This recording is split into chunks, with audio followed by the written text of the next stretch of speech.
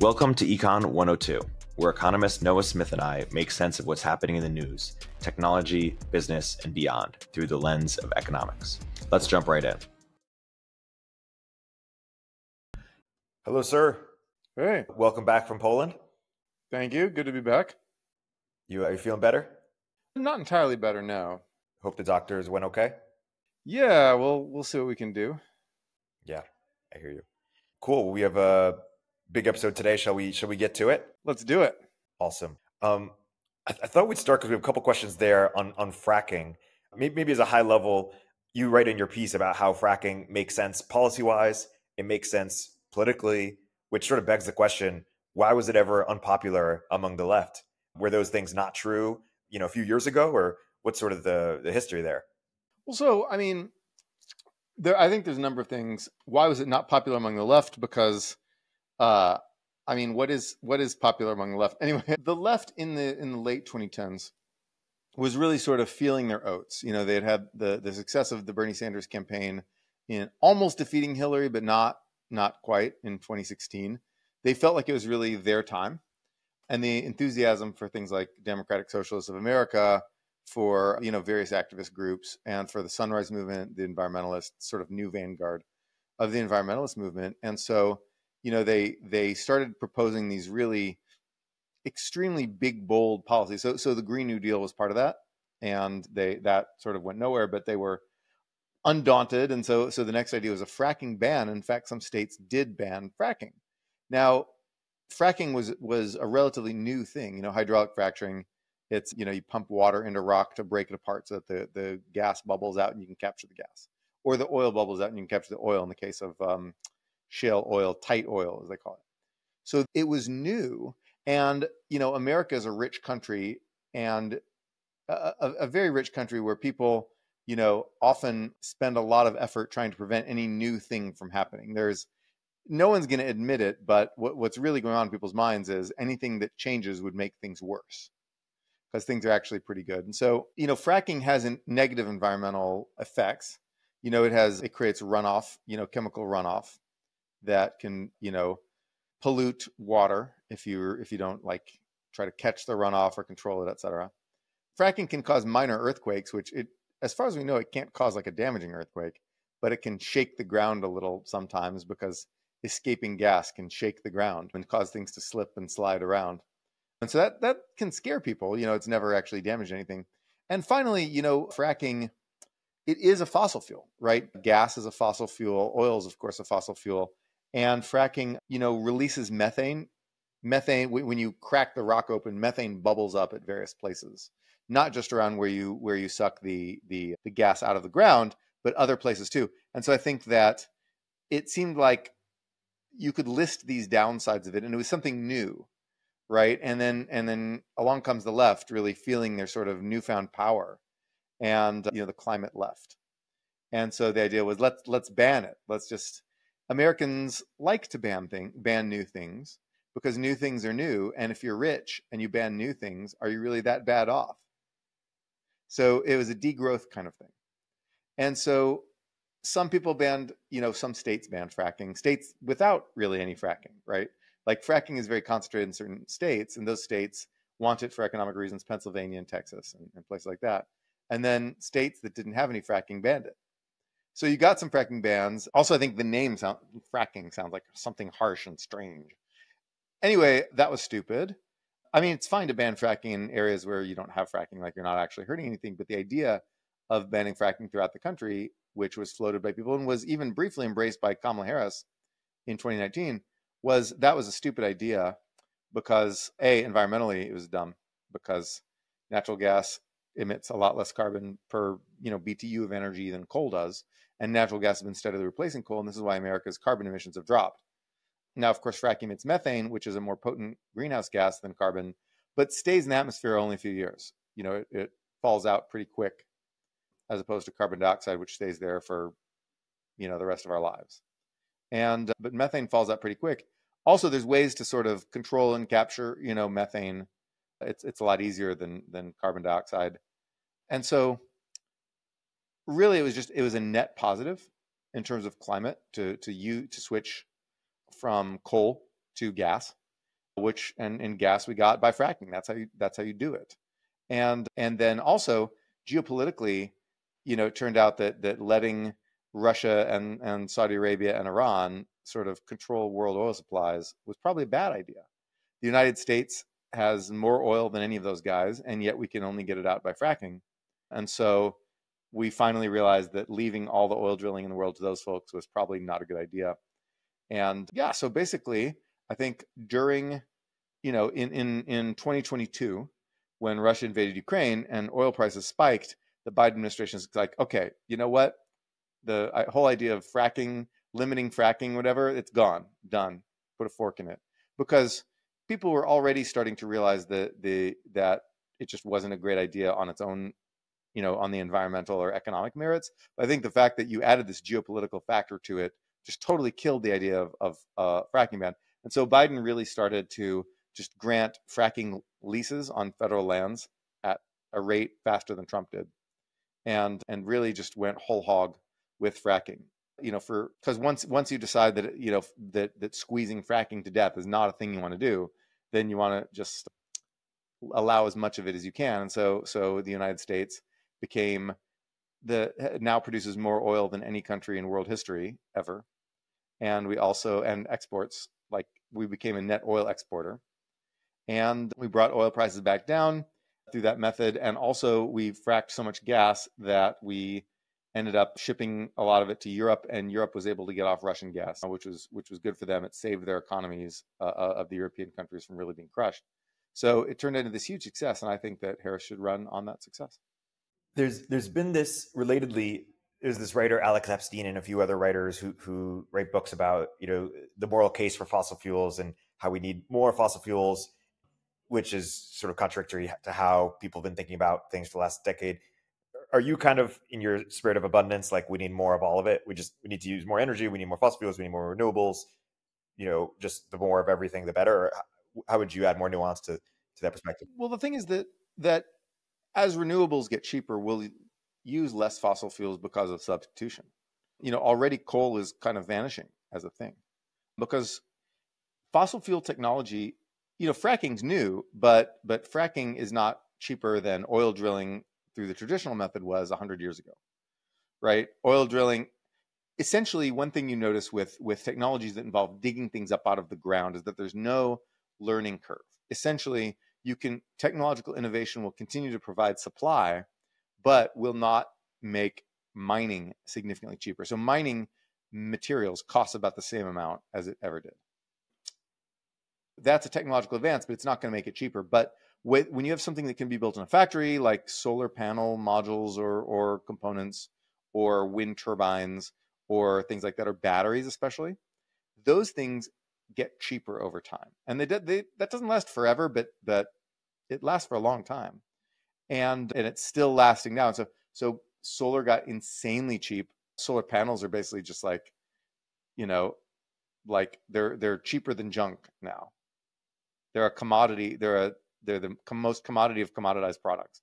Like panels that will produce energy from the sun when you turn them to the sun are the most commodified thing. They're insanely cheap. And the batteries to store energy overnight, you know, or through a storm or whatever, are insanely cheap now. They're getting insanely cheap. And so you see Texas buying tons of this. When Texas is buying a ton of something, uh, when Texas is buying a ton of non-fossil fuel energy, you know that it's it's not because of subsidies, right? It's not because of um, it's not because of you know wokeness or politics or political whatever. It's because that's the most that's the most cost effective thing. And if you look at China, they're now China actually is slightly reducing its coal now, which is crazy because they've been they were building so much new coal power, and yet now they're actually slightly reducing the amount, or at least you know this past year of course, they have an economic slowdown as well, so they're not growing quite as fast as they did. So degrowth is is somewhat of a factor there too. But the idea that we need to consciously try to use more fossil fuels is, is wrong. There's no reason to do that. When you use all the different types of energy, the types that can be built in a factory get cheaper than the other types because of human ingenuity in learning how to build things cheaply. And so over time, that means that that renewable energy will displace fossil fuels and it's already starting to happen and in, in some places it's actually pretty advanced. Like you see some some countries where renewables have almost completely displaced fossil fuels. That had some some help from policy, but basically promoting renewables with subsidies is good because we we it's a bet on those learning curves, right? It's a bet on those scaling effects. It's a bet on those things getting even cheaper if you build even more of it. And so it's that's that's a good bet. So far, it's been a it's been a perfect bet. It's never failed. But but it's a smart bet to make because when you subsidize that stuff, you're not just paying cheaper. You're not just paying lower prices today because of the subsidy. The scale up of that do you know will mean that you'll pay lower prices even without subsidies tomorrow. So that's why subsidies are for for renewable energy, like we have in the Inflation Reduction Act, are a good idea. It's because of those learning curves and scaling effects. So even without you know banning fossil fuels, fossil fuels are going to go. They're not going to go away, but they're going to be a lot less prevalent than they are now. They were sort of a starter kit for civilization. Right. The this relates to a question that I want to bring up from one of our listeners who basically says, okay, this is for Ben Fitz. And Ben says, Your writing brought me up to date with incredible developments in solar and batteries, overturning my renewable energy skeptic priors. But I still can't get at wind energy. Anything, everything that's exciting about solar and batteries, i.e., new chemistries, efficient mass production, exponential scaling, does not hold for wind. Wind is mechanical, expensive to scale, and unpredictable. Yes, I get that at higher latitudes in winter, solar drops and the wind blows more reliably, except sometimes it doesn't. What am I missing? One one slight mistake there is that that wind uh, does have scaling effects because you build the turbines in a factory, and so not only that, you also get some scaling effects from building a larger turbine. So we've been able to just build these things bigger and bigger and bigger until now they're the size of skyscrapers, and so that a bigger turbine is more efficient than a smaller turbine because it just loses less energy to friction and whatnot, catches more of the more of the wind. And and so so those in wind does have a learning curve, both from building, you know, and, and it does have a scaling effect from sheer size, and it has a learning curve from the fact that we build the turbines in a factory, right? Turbines are of that size are difficult to build and they get cheaper the more you do that, right? Now, that said, wind has lots of disadvantages that uh, that you know solar doesn't have wind takes much much more land like wind takes far more land than solar the biggest weakness of solar is nimbyism is the idea that people say well don't build those ugly solar panels in my backyard but then wind you know will take far more land than that we'll have to take land away from grazing and from you know from farming and all kinds of things and that requires much more transmission lines and transmission lines are subject to their own nimby problem people are like, well, don't build those power lines in my land, and you know, or in where I can see them. I don't want to see those ugly power lines, things like that. So, so solar you can build a lot closer to the the sort of place where you use it. Wind has to be, you know, carried long distances. And these mean that so so wind is obviously important. You know, Texas is building tons of wind. Places are building lots of wind, but ultimately, I think it's going to be a marginal. It, it's going to be a niche solution. It's going to be wind is going to be like you know I don't know I'm making things numbers up, obviously, but let's say wind would be like 10%, 15%, something like that of our of our electricity mix. And in that sense, I liken it to nuclear power. I think nuclear power is is you know it's good, and and there's certainly advantages that it has some advantages that it has. It's more compact than a lot of things. You know, it's it's very firm energy. With battery, that's becoming less important, but it's still it's still not zero important. And so you know you can so, and, and then nuclear, you can also, if you're a state that needs to make nuclear weapons, you can use it for that. There's other benefits of nuclear, but ultimately, I don't think nuclear is going to be more than like 15% of our electricity mix. And I think that if you look at China, they're building plenty of nuclear, but they're building a lot, much, much more of solar than of nuclear. So, you know, when people say nuclear is the answer, well, nuclear is going to be a niche product. It's going to be part of the, you know, so then if you have 15% from nuclear, 15% from wind, and 50% from hydro, and then like 55% from solar, right? Then there you go. Or let's say 50% from solar and 5% from natural gas. And then like that's, you know, then you've basically decarbonized your whole your whole grid, 95% of your grid. Got it. So you're you're basically bullish that we're gonna we're gonna figure this out. Oh, yeah. Yeah, we, I mean, we, we have figured it out. I think we, you know, there's it's it's all over except for the land use fights we we figured it out. We know how to do this. Now, of course, there's there's the fact that new demands for electricity from AI and uh, stuff are going to, you know, big, big, hungry data centers. That's gonna, that's gonna slow down decarbonization because it's going to suck up new energy for for these new products. Yeah, Peter Thiel actually had this theory that he shared recently, where he thinks that the reason or one reason why nuclear power plants were so slow or why we made them so difficult to to build was because we were scared of the potential connection or adjacencies to nuclear weapons and thus we you know deliberately slowed them down to uh, prevent the risk of, of us or others you know obtaining nukes in a in a similar way. That's obviously true. Yeah. I mean that's yeah there was that. There's there's people's just fear of of nuclear stuff of radiation you know this invisible silent death thing. People scared of it yeah, there's you know nuclear waste and and nuclear accidents, and people are are you know just scared of these things. For years, you know, for so many decades, The Simpsons intro had you know like a three-eyed fish next to a nuclear plant, and it was just this sort of became this sort of like thing that everybody knew about nuclear power plants is that radiation will like mutate you and you know stuff. But then, yeah, I mean, like obviously, nuclear fear of of nuclear proliferation was was one thing because if everybody uses nuclear power, you know what does that mean for the what does that mean for the countries that that don't have nuclear weapons? Are we going to you know so are we going to try to restrict you know remember that that you know iran and north korea started the nuclear weapons programs nuclear reactors right? So i so Thiel is absolutely right about that. But then fundamentally the the real thing that that will kill nuclear long term not kill it but just limit it to a niche uh, product is well a couple things cost and cost and cost structure cost and financing, which are not the same thing. So, so cost is that nuclear power, like mining, doesn't have much of a scaling effect. It, it's well, like like housing construction, right?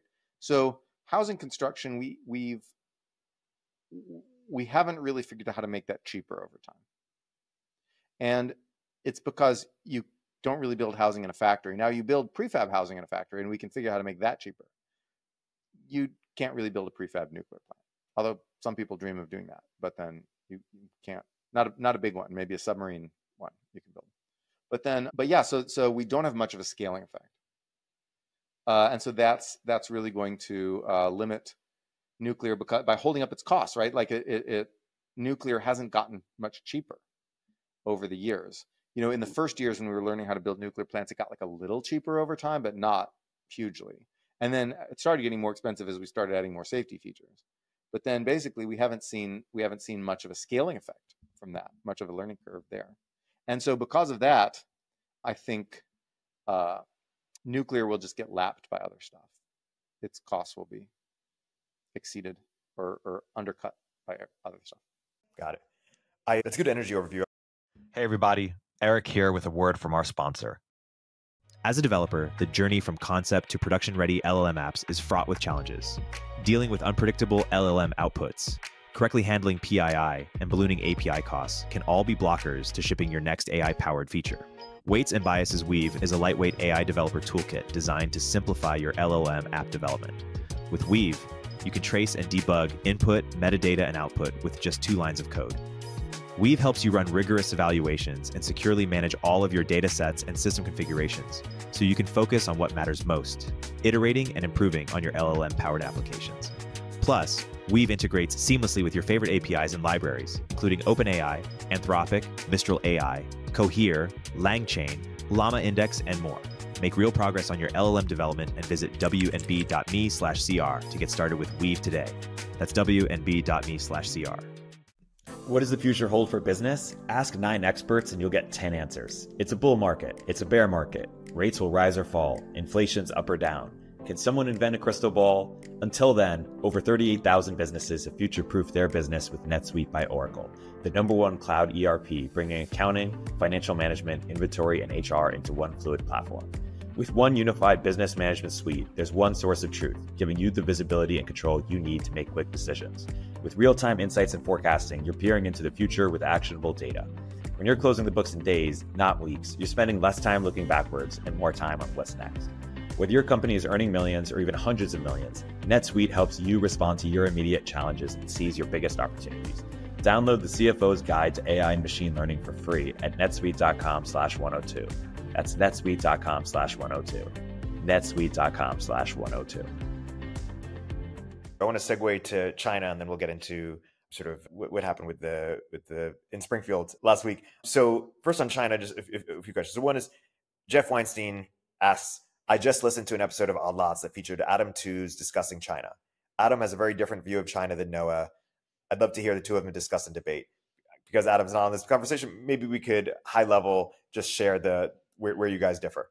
Right. I mean, Adam, you know, he's he's a historian. Right. He's and he's he's pretty ideological guy. I think he doesn't like the idea of capitalism. And, all, and and he does identify capitalism with the United States of America. Actually, interesting. His his his grandfather was a Soviet spy, famous Soviet spy. Yeah. No, I don't think uh, Adam is a is you know he's in the tank for for Joseph Stalin here, but but but I think that you know he he he definitely comes from this this tradition of being skeptical of capitalism, the West, and America in particular as the avatar of capitalism in the West. Uh, and for people who come from that intellectual milieu, there's a there's a tendency to be very enamored of seeming alternatives, of things that seem to provide an alternative. Whether that's, you know, at times that was some of those people were a little overly enamored of Japan back in in the day.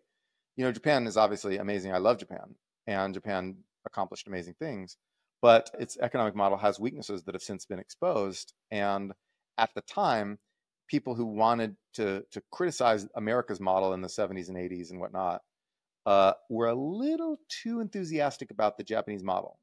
I think they were a little too enthusiastic about European about the European model, uh, especially during the you know the 2000s when when the EU was sort of at its its apex. I think they were, of course, they were they were too too positive about the USSR during its years of fast growth. I think that they're a little too positive about China now. I think that developing countries grow fast, especially when they have a political system that allows them to invest, invest, invest.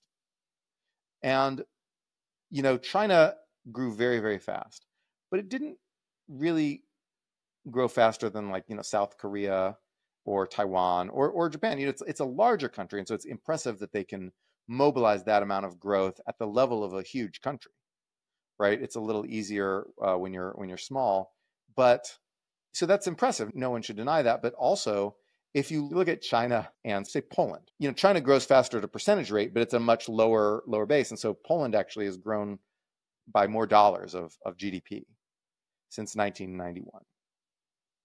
and so so which China grew at very high percentage rates from a very low base. China's growth has now slowed, and we don't know if that gro- slowdown will be permanent. And obviously, this is the big question now. But China has slowed to, you know, maybe like four percent ish growth. I think trend wise, I think they they they had a recession. Uh, I think they their growth they they they lied about their growth in 2023, uh, and and probably 2022 as well. Then and they, you know, maybe they're lying this this year. I'm not sure but but that that's what they do, by the way. That China consistently they overstate their growth during bad times, and then uh, they sort of save up the the bullshit points and then spend them down later by by understating growth during the boom times. Traditionally, that's been what they did. That's called smoothing, right?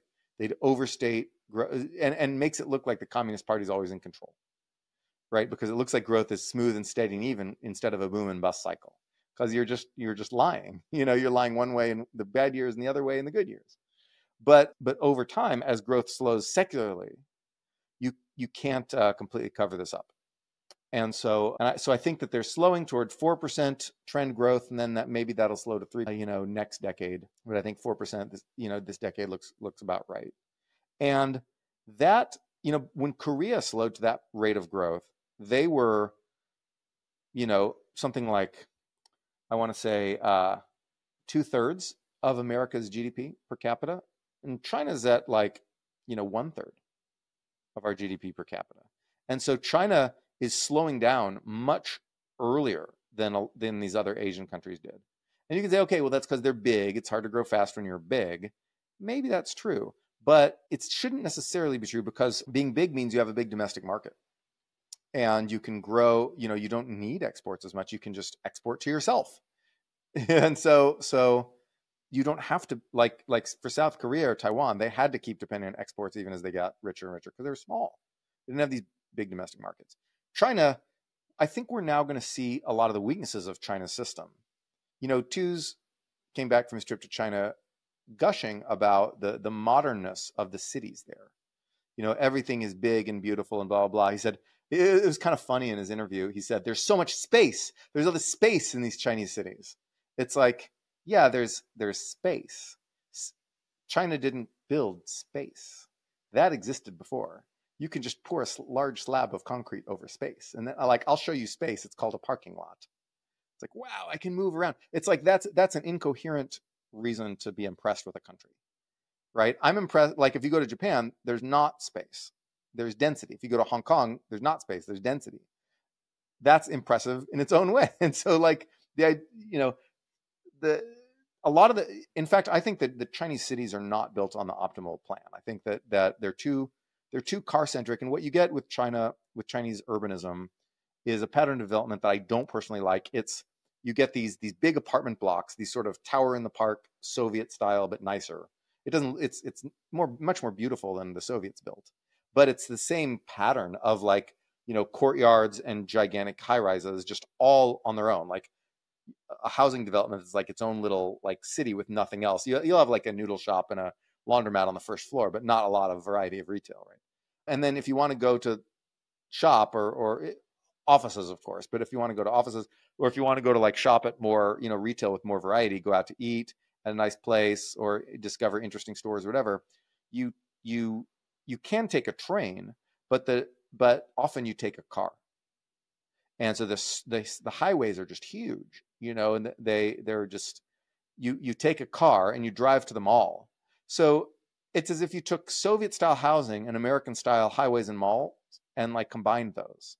So imagine america but instead of living in a leafy suburb in a single family home you live in a giant apartment tower block and then you still you know drive on the highway to go to the mall. Like that's what chinese cities are like and yeah there's space and yes yeah, stuff is new because it just got built. Like people this this is a mistake that people make not just with reference to China, but with reference to everything. Reinforced concrete doesn't like it lasts 50 years. Like reinforced concrete is an amazing building material. You know, you just you pour it and it goes and then you have a building, right? You just pour it out. It's it's amazing building material. Super super super cheap, really good at what it does. And it and it and it breaks right? The, the water gets into it and, and heat expansion, you know, cracks it. There's there's like rebar inside and it, it cracks and it breaks and it breaks down over time. And paint wears away. Like paint gets worn away by sun and moisture and you know oxidation and all kinds of things like that.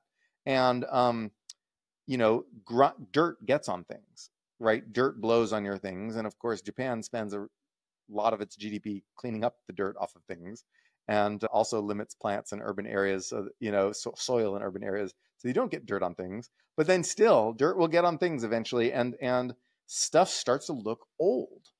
Like wait a few decades, wait 20 years, 30 years, and those buildings will start to look old. And you can spend a ton of your GDP constantly tearing them down and rebuilding them so they always look new, which is what Japan actually does. But like every building every like you know building in america we think man that looks old that once looked new and nice. Right? It's the capital depreciation cycle and people who china just exited the biggest real estate boom in human history the biggest building boom in human history. They built you know they would regularly use this might even still be true but I, i'm not sure if it's true anymore but they would they would use more concrete in like two years than america had used in its entire history. They would just pour that much concrete and that was that was why they made so much steel, right? It was to build buildings. It's the the the steel that goes inside the reinforced concrete, and so these cities are are new because they all got built since basically the year 2000. Like in the last 25 years, these built these cities were built, and therefore they all look new. But come back to me in 20 years, and they will not look new. And so if you look at Hong Kong, if you look at Taiwan, they look dilapidated as hell, except for the few new buildings that are recently built, right? But everything in Taiwan and Hong Kong that was built in the 70s, like or 80s, just looks dilapidated as hell now. And that's what will happen if you don't spend a ton of money refurbishing or re, or knocking down and rebuilding all these buildings like Japan does, and Hong Kong and Taiwan do not. Like everyone's like, oh, you know, like wow, Hong Kong, yeah, and then they get there, uh, some of this is just falling apart, and that's where China's headed, unless they unless they go the Japan route, which is costly, very costly. And so anyway, the people who are just like mega impressed with with China aren't necessarily like some I, I, think they got they get caught up in this idea that the west has been surpassed. The romantic notion of the surpassing of the west which they and their intellectual tradition you know which which originally it comes comes from marxism but it's not marxist. Like Tooze is not a marxist. Uh, but then but then i think that a lot of people flocked to who, who flocked to marxism and to socialism a uh, hundred years ago when european empires destroyed the globe right? They they dreamed of this time when the other the other countries would all be equal and then you know the european empires would be broken. And that that that came that happened. We're there. And and yes that is what it looks like the other you know other countries build new impressive shiny cool things. But that doesn't mean that like but but that that romance of the surpassing of the west is a little too romantic in these people's minds. And i think it's a little too romantic in Tooze's mind. And and in that interview, you notice that he talks to to Joe and Tracy about how how Chinese people themselves are very much in the dumps. They're very pessimistic these days, and that's what happens when you get used to a world of, you know, six to ten percent growth, depending on which decade, six percent in the 2010s, whatever, and then suddenly your growth slows. Right, probably was like a percent and a half last year, and then maybe you know i don't know 3% this year or something but when you when you slow down from where you were and of course in the 2000s you were growing at like 10% when you get those slowdowns it's like a big shock to your system when when all you've ever known was like up up up build build build and and then suddenly nobody's building stuff and like houses aren't getting built and like nobody has enough money and people are losing their jobs. You know they got this big this big recession. Hey everybody. Erik here with a word from our sponsor. This episode is brought to you by WorkOS if you're building a B2B SaaS app, at some point your customers will start asking for enterprise features like SAML authentication, SCIM provisioning, role based access control, and audit trails. That's where WorkOS comes in, with easy to use and flexible APIs that help you ship enterprise features on day one without slowing down your core product development. Today, some of the hottest startups in the world are already powered by WorkOS, including ones you probably know, like Perplexity, Vercel, Jasper, and Webflow. WorkOS also provides a generous free tier of up to 1 million monthly active users for user management, making it the perfect authentication and authorization solution for growing companies. It comes standard with rich features like bot protection, MFA, roles and permissions, and more. If you are currently looking to build SSO for your first enterprise customer, you should consider using WorkOS. Integrate in minutes and start shipping enterprise plans today. It relates to a piece you wrote recently where you talked about the two theories for why China's economy is doing badly. Why don't you uh, unpack the the different interpretations? Yeah, well, that that piece was it was kind of my excuse to try to explain macroeconomics in lay terms. But basically, there's been this debate since the Great Depression. There has been a debate within economics about recessions and what they are. And essentially, one side says this is a normal part of how economies grow and produce. And it's and the mm-hmm. other the other side says no, economies are a macroeconomy is a fragile thing that suffers coordination failures and and breakdown periodic, you know, just inefficient breakdowns and that needs the government to come in and, and sort of prop things up. And that those two ideas, and you could call them, you know, Austrian and Keynesian at one point, but but you could base you could call them like supply and demand based or something like that. Those things those two basic ideas have been slugging it out for a century now. And so yet in china the debate's different because china is not fully in sync with american economic thought. I think that the the the demand based explanation of recessions kind of won at least temporarily in america because of 2008 because we had this housing bust and a financial crisis and things like that. And it was obviously it was pretty clear that it wasn't because of productivity declines, you know, it wasn't because of troubles in just one industry. It was really across the board. Everything suffered. And so so one idea so so for example, one of the ideas I think that is people have is that recessions are when the economy has to switch from one activity to another. You know, we're like, okay, less housing, more manufacturing. And the idea is that this is hard, the switch is hard, and so you have to basically calculate. The, the economy takes a while to switch, and during that time, like stuff gets idled, and that's what a recession is. And this is what Ludwig von Mises th- thought, and, and Friedrich Hayek. These guys really, really thought that. But then what you end up seeing is that even sort of the new sectors, so when you switch from, when you have a demand based recession, what you see is that even the sectors you're trying to switch toward get depressed for a while. You know, yes, maybe housing went bust and now you're trying to switch to like manufacturing or something, but but even manufacturing gets depressed. It's not like toothpaste is just being squeezed from like one place to another and it just takes a while to get there. Everything gets to, all, all the sectors get depressed at once. And so the hallmark of like the Keynesian recession is deflation if you think about it intuitively, here, think about this. If if productivity goes down, right? If if something real in the economy happens to make our productivity go down, and that causes a recession, should, should stuff get more expensive or less expensive? What do you think? Stuff. Like if our economy just gets shittier at producing the stuff it produces. We should get more expensive, right? Yeah, because like yeah, exactly. Because it's more scarce, right? If if yeah, if like our factories just stop operating, then then stuff should get more expensive. But the thing is that in in a big recession, in almost every big recession that we've ever seen, what happens is that stuff gets less expensive, or or stuff gets yeah stuff gets less expensive. Inflation falls, def or or deflation happens, and so that's that's the hallmark of of demand going down, right? So suddenly, right? Imagine if people want fewer PlayStations, right? The price of playstations is going to go down right? If PlayStation factories get gummed up, the price will go up because you get a shortage, right? You get scarcity.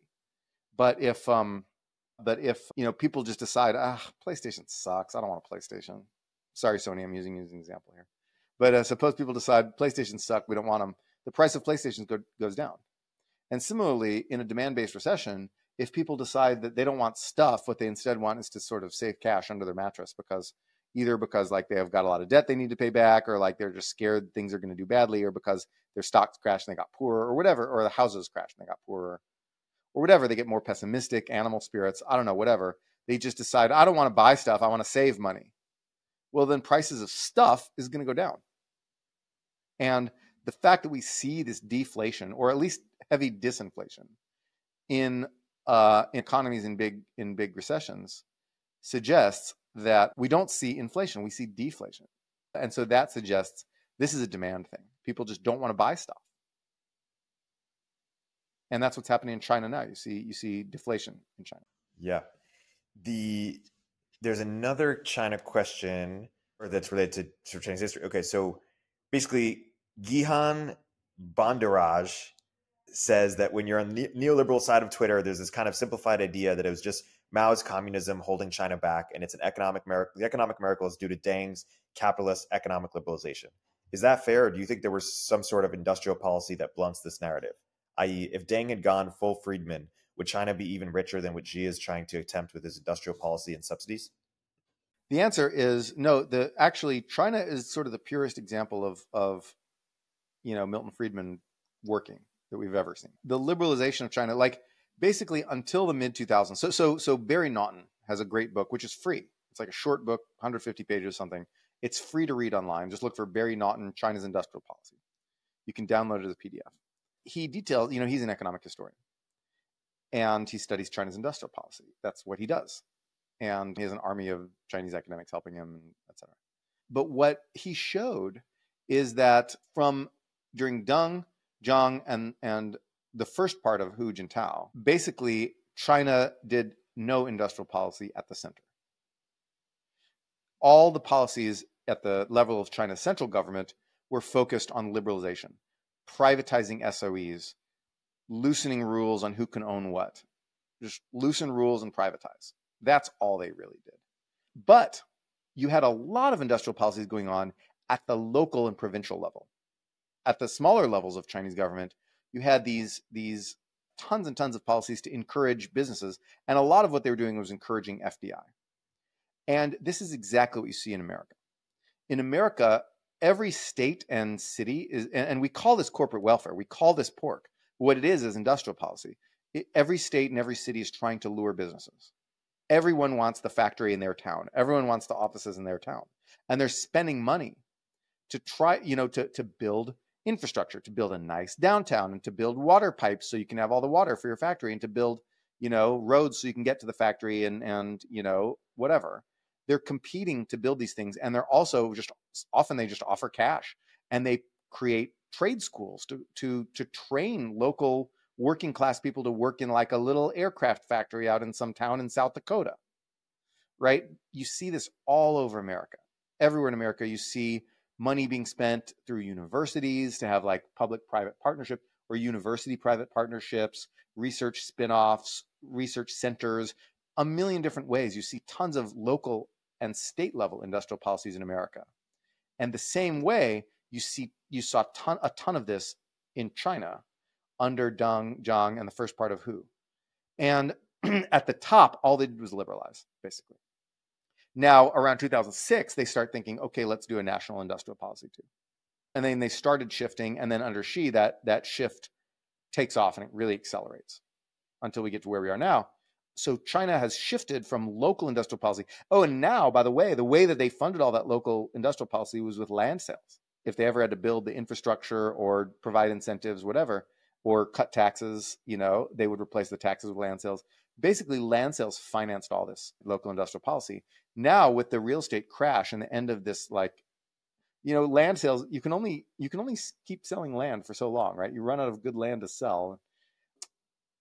So so eventually you just build all your cities, you develop everything, and then then what? Then you're only selling land people don't want out in the middle of nowhere. You're selling it, and it's much cheaper. And anyway, the China's reached the end of that model. And so what that means is that now national level industrial policy is going to become even more important because local industrial policy is kind of collapsing now in China. So, so I wouldn't, I would say that at the center, they really did Milton Friedman. In the, the central government really just did do the full Friedman. And it was, it was local governments that did the industrial policy. And that's changing now. Do I think this is going to go well for them? In some ways, yes. In some ways, no. I, you know, I'm, I'm, it's always hard to predict these kind of things, but I think that they're not gonna, they're not gonna manage to restore rapid productivity growth, but they will manage to get technological edges in certain key technologies that will be very militarily useful. That's my prediction. Got it.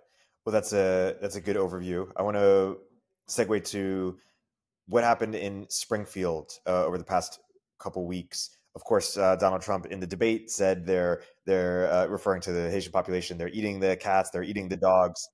They're eating the dogs. They're eating the pets of the people who live there. There was some good memes that came out of it, but of course, when it was you know fact checked or researched, uh, that was not in fact ha- happening. There was some disturbance there, but it wasn't. Uh, you know, they weren't eating cats. They weren't eating dogs what, what, you you wrote a piece about it. It sparked a broader conversation about you know immigration and you know sort of. Why, why don't you share your, your thoughts? Yeah, so so this made me really really mad because essentially it was made up. Let's talk about the ways in which it was made up. Number one, there were no credible reports of pets disappearing, of cats or dogs being eaten by any Haitians in Springfield. When people were pressed to find evidence of this, someone found a psychotic woman who had eaten a cat or was trying had not eaten it but was trying to eat it. And she was you know mentally disturbed on drugs like schizophrenic person. And that was not a haitian. She was just a you know american person. And she was that was far away. I think it was in columbus. They also found a man carrying goose which had been a roadkill roadkill goose that were hit by someone else's car he cleaned them off the side of the road and someone took and he's just a, he's not a Haitian, he's just a black dude, and he was like being socially responsible, picking up roadkill to to you know throw it off the road so someone doesn't wipe out and get in a car accident. And someone took a video of him and like, oh, a Haitian with you know eating someone's eating wild animals, complete bullshit. And then Chris Rufo paid for paid five thousand dollars for anyone who could come up with evidence, and they found some video of some unidentified animal being grilled by, I think, some African immigrants, not Haitians, but Africans, in some other town in Ohio somewhere. And people argue over what those animals are. Was it a chicken? Was it a cat? We don't know. It don't look like no cat to me, but I don't know what it is, honestly. Like, and I'm from Texas, and seeing an unidentified you know, animal being grilled on a on a on a grill somewhere is not necessarily the most unusual or weird thing for me. Right? I don't think people are going to grill up a cat. By the way, a, a, a, a cat carcass is limp. It's floppy. You know, it's it, it doesn't have legs that stick straight up like that. But but you know, it's people people will shoot and grill up stuff. This is America. You know, like there's there's a lot of there's a lot of hicks and rednecks and whatnot. And people who come from Africa are not necessarily going to be, you know, less hickish than the than the, than the people in the small towns they move to. They're not going to nece- they're not going to all be like you know effete. You know, some will, a lot will, will be like you know super super cultured, you know, people with PhDs and whatnot. But you're going to get people like you're going to get some people who shoot a wild animal and grill it in their backyard. Right? You're not supposed to do that. It's against health code. But people do it in a small town in America. This is America. And so anyway, the point is that that was fake. The whole premise that there were 20,000 Haitians that had been dumped on this town was fake for a number of reasons. One reason is that first of all, there's no there's no central coordinating authority that tells migrants as they call them where to go, okay? when people immigrate to America, like they, it, it's all by word of mouth. And so if if some Haitians get a job at a factory in Springfield, then they call up their cousins who are trying to get out of Haiti, and they're like, "Hey, here's a place you could go and be with us." And so that this is how like half the towns in the Midwest formed. It was just whole towns in Sweden would relocate to Minnesota and just rebuild the whole fucking town in Minnesota.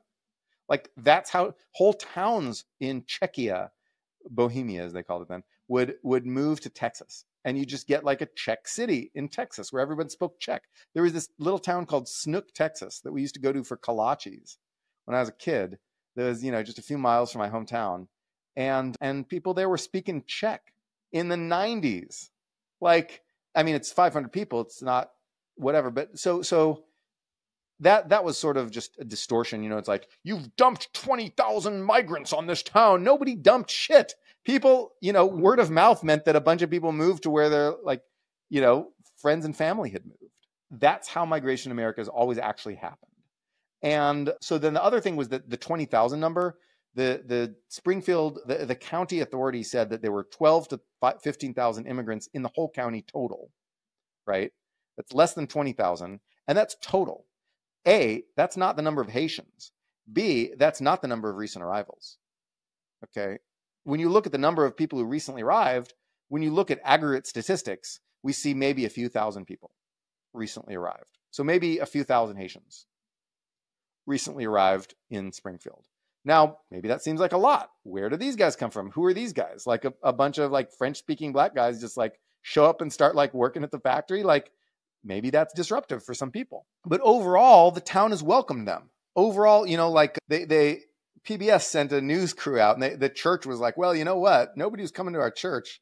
Our pews are empty and, you know, Haitians are, are very Christian. And so suddenly all these Haitians show up coming to church. And now we've got, you know, people in our church. And they were like, well, you know, they're not quite the same people who used to come to this church, but then, but then now we've got, you know, we've got a congregation more. And then and the factory owner of this metal factory was like, yeah, these guys are great. You know, they don't have drug problems. They show up on time. They work hard.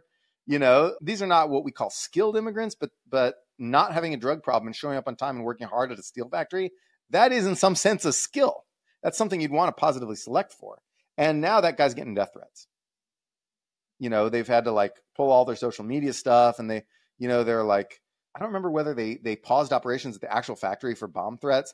So so as a result of so, so anyway, the whole thing was fucking fake. And then JD Vance got up on CNN in an interview with Dana Bash and said he said, you know, if if there's not stories, I have to create stories.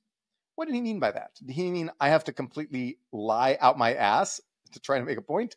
Or did he mean nobody cared about this, so I brought it to people's attention so that they cared?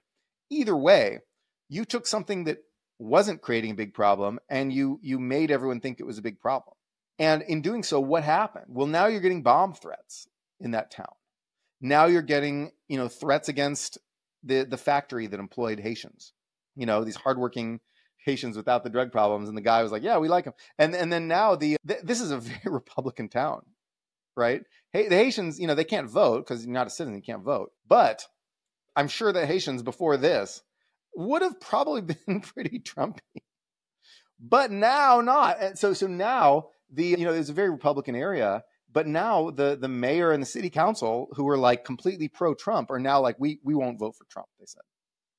Because he called down the wrath of, of racist assholes on this little town. Why would you do that? And then some woman who had like spread some rumor on Facebook about Haitians eating pets. She she re, like she apologized and took it back and said it wasn't real. She was just spreading rumors for fun on Facebook and she's sorry that it went national. If you live in a small town in America, it's boring. It's fun to have intrigue like, "Oh, are they eating the pets? Oh my gosh, you're not going to do anything. You're not going to pick up a gun or join a mob. This isn't the 19th century." But you know, maybe you'll like post some Facebook posts. Oh, are they eating the cats? But then like it blows up in a national thing, and you didn't want to act. You didn't want that to actually happen. That that was not what you wanted to happen. And so she like tearfully apologized for you know causing this blah blah. And so the whole thing was fucking made up. And then Trump repeated it in the debate as if it were a fact. you know, they're eating the dog. like you lie. He made that up. That is a lie. And so then you know Joe Lonsdale, who's a guy I know, you know, I have I have actually extensively defended Joe Lonsdale. He he got accused of some false bullshit back in the 2010s, and I defended him vociferously on my blog. And and and he said, you know what?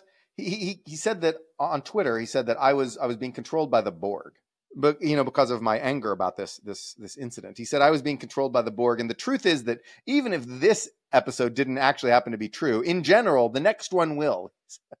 This is this is terrible. I I cannot understand the morality of this. The idea of inventing and embracing and promoting a fake story, a lie because you think the lie will draw people's attention to a broader problem. That's immoral because, you know, you could have just talked about the broader, what you think of as the broader problem. Instead, you made it about specific people. Imagine that you're a Haitian and you just work at a steel mill. You know, you escaped this violent, anarchic fucking country and you move to work at a steel mill and now you work there, you go to church, you have family, you're like, I'm naked in America, blah, blah, blah. I like my neighbors. Maybe there's one neighbor who's an asshole and says mean things to me because I'm Haitian, but who cares? Whatever. That guy sucks.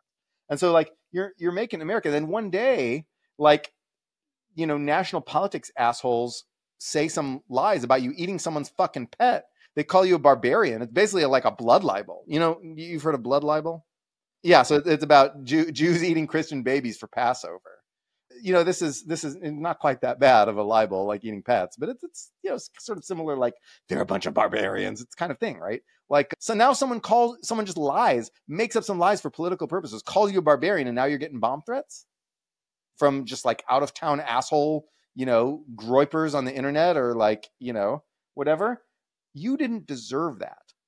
You did not. Des- you are an individual person who came to America to make it, and you're just doing what's right by you and your family. You're doing everything right, and sudden and and now, like, like some whole political movement is after your ass just because you exist, just because they think that by going after you and making you a target, they can make some broader point about immigration in America and immigration policy that they don't like.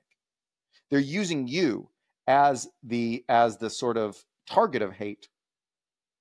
That's not that's immoral. That is just that's that's a moral stain. If you've if you've participated in this and done this, if you have knowingly embraced false rumors about specific real individuals in order to make a broader political point, you have committed a moral sin. I don't know how to say it. Like, that's bad. People should be judged on their individual merits and they should not be targeted for being part of a group. That's just basic Americanness. And churches in Springfield are like they're they're sending messages of support to the Haitians, you know, in in the community and saying like Jesus loves you. And so I love to see stuff like that. You know, that's that's classic like small town America. And if you see that, you see that across America. You see this this this sort of healthy behavior at the local level.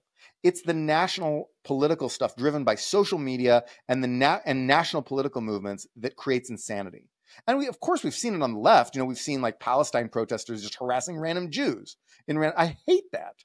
You know, just to like make a point about Israel. That's like the same thing. But then, but then the Democrats marginalized those people. They kicked them out of the DNC and basically completely ignored them and didn't even let them speak, which that's great. Good job, Democrats. In Republicans, it's the guy at the top. It's Trump doing this because I think he's sort of flailing. You know, he hasn't got quite the juice that he used to have, and Kamala's doing all right in the polls and like whatever. And he's just this old, old angry guy with nothing to lose. And you know, and then there's JD Vance who doesn't really know what he's doing. You know, he's just like he's too online. JD Vance is too fucking online. He thinks that like the the sort of rabble rousing that you do on Twitter to get a Twitter mob is okay to get is okay to do to get like a real mob in in the real world where people get real bomb threats. Like, no, it's not, bro. Like, this is not your stupid little Twitter war where lol nothing matters. This is not 4chan. This is real. And so I, I think that he's just too goddamn online. And and and Trump is just this angry old guy who doesn't give a shit and just rages and rages against stuff. He's just looking for the next thing to rage against. Right. And so, and they're eating the pets. And so, like, so, so I hate this. This is just the, the least American thing I could imagine. This is like, you know, it's, it's like, what would Ronald Reagan do? This is the exact opposite of what Ronald Reagan would do.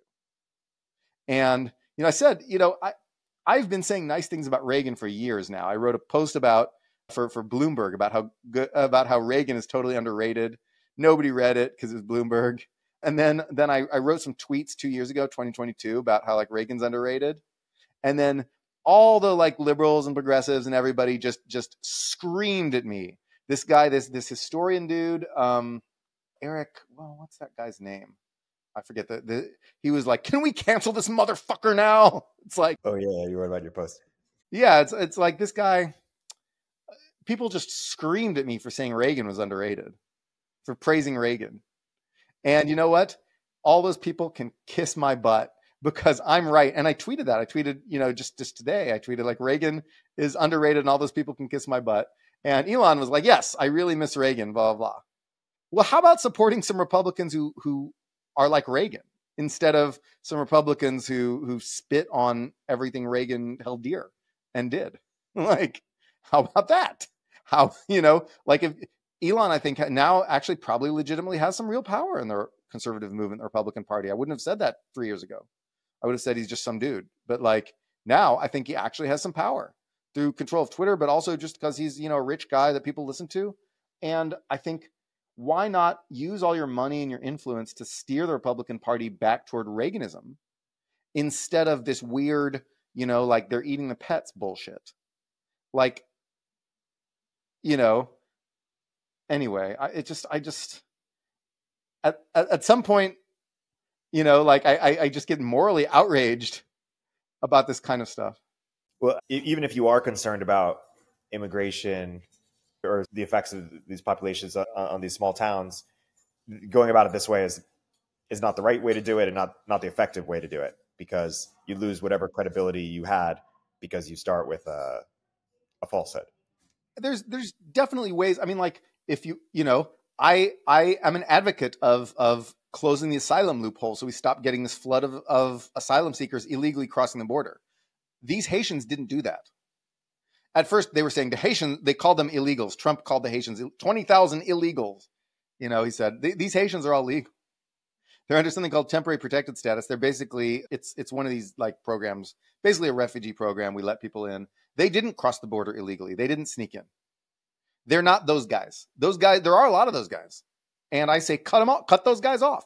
Stop those guys from being able. There's even Haitians trying to do this. They go to Mexico, they come through the, the southern border. Stop, cut that off. Stop that. Just boot them right out. Don't give them an asylum hearing. Make people, you know, apply at a port of entry in an orderly way, follow the rules, wait in line for asylum, blah, blah, blah. Do all that stuff. Okay. Do that. And in fact, that's what Biden is now doing after delaying too many years, right? He he delayed two years too long, but he's finally doing this. And that's what Trump did during his first term. You can do that. And, you know, it will, in the long term, it will require a legal change to close the asylum loophole. But I'm all in favor of that. But here's the thing Americans, whatever Americans' opinion of immigration and their opinions of immigrants are different.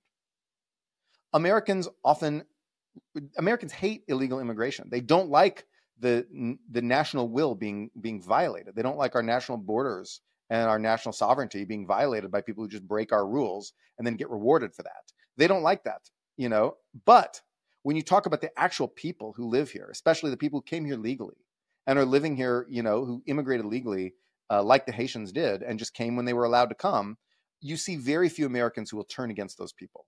And in you know, Im- anti-immigration sentiment has surged so much under Biden because Biden failed to do enough fast enough about the border.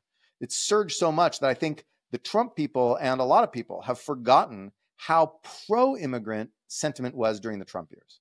We saw an unprecedented outpouring of pro-immigrant sentiment under Trump the first time. Why? Because it seemed like Trump was trying to persecute immigrants themselves. And Americans don't necessarily like immigration, but immigrants themselves, they do like. I think Trump forgot that. He miscalculated and he went after some people he shouldn't have gone after. I think that's a good good way to way, way to close. I want to be mindful of uh, of time. Is there anything on, on this topic that we, we haven't yet got to, or should we wrap on that? No, I think let's wrap on that. That's that's that's pretty much the clearest I can say. Like you know, whatever whatever you think of the process of immigration, when you go after immigrants as like a as a group of people, then then you're asking for trouble um, because you've gone against one of the fundamental precepts of America, and I think Americans will stand up for and defend that idea of America as the country of immigrants, even if they don't like the way that some immigrants are coming now. Yeah. Well, no, this was a great uh, and very efficient and effective conversation on fracking, China, and immigration. As always, uh, great conversation. Until next time. Until next time. Econ 102 is a podcast from Turpentine, the network behind Moment of Zen, In the Arena, The Cognitive Revolution, and more. If you like what you hear, subscribe and leave us a review in the App Store. You can keep up with both of our Substacks for written analysis of the topics we cover in the show at noahopinion.substack.com and eriktorenberg.substack.com. Thanks for listening.